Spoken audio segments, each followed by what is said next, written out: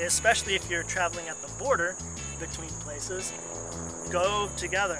Don't go separately. They tend to Get weird. weirded out by things like that. Why Definitely. didn't you? If you're together, why weren't you together at here with your documents?